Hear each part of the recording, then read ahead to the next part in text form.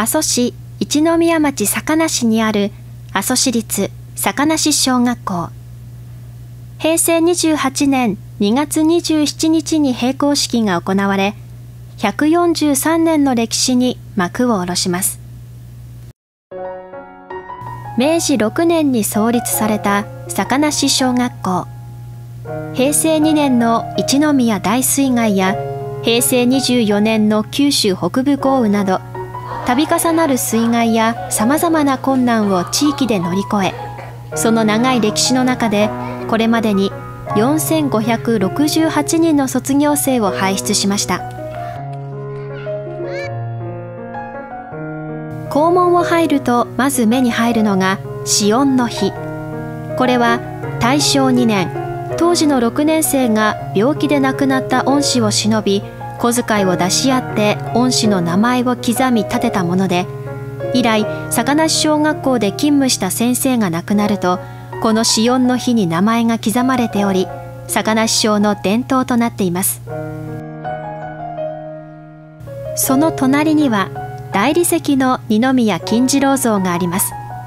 これまではコンクリート製の二宮金次郎像が児童たちを見守ってきましたが損傷が激しく閉校を機に新しくこの像が建てられました。また明治4年から明治43年までの教科書が191冊保存されており明治期の小学校教育を知る上で貴重な資料となっています。坂梨小学校では草原学習に力を入れています。地元の牧野組合の協力のもと季節ごとに草原に出かけ野草や草原の役割を学習したりまた野焼きでは火消し棒などを自分たちで作り実際に原野に火を入れます。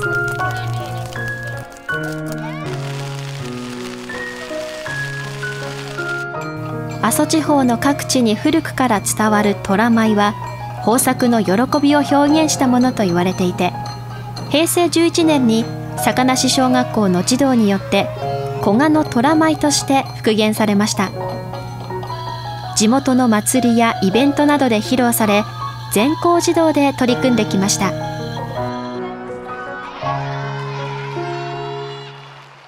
平成28年2月27日に行われた閉校式。式典の中で和田隆校長は坂梨小学校の素晴らしい伝統や精神は児童の皆さんの心の中にずっと生き続けると信じていますと式辞を述べまた6年生の児童代表が坂梨小学校という名前はなくなっても坂梨小学校での思い出を宝物としてこれからも頑張っていきますとお別れの言葉を述べました。第2部の記念行事では坂梨小学校のこの1年を振り返る DVD が上映されまた全校児童による古賀の虎舞が披露されると会場からは温かい拍手が送られていました。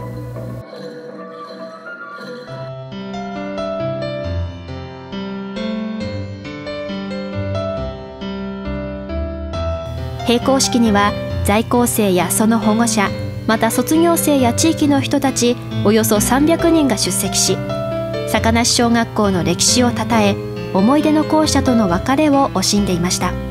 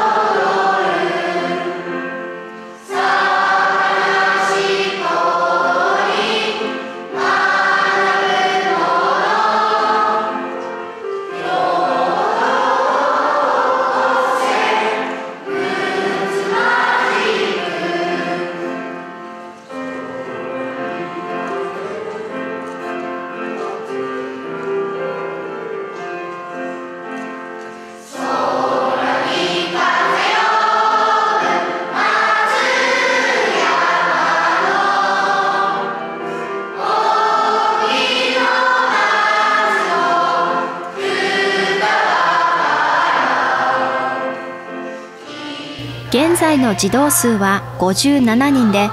3月15日に9人の坂梨小学校最後の卒業生が巣立ちます。